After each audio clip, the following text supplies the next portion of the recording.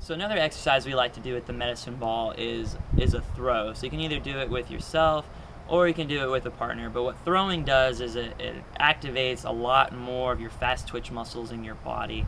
And this next one is uh, the hip catch throw. So we're gonna go ahead have a little stance in our leg, a little dampening. I'm gonna pull it to my side, activate my oblique, and I'm gonna throw it against the wall, and I'm gonna switch back and forth. And this is really going to force you to engage your core, engage your back, and it's really a lot more effective for your time rather than just doing normal sit-ups or traditional exercise that you think about when you think about core. By throwing, you're actually doing a lot more justice for your core. You're, you're using your time. You're, yeah, you're getting stronger.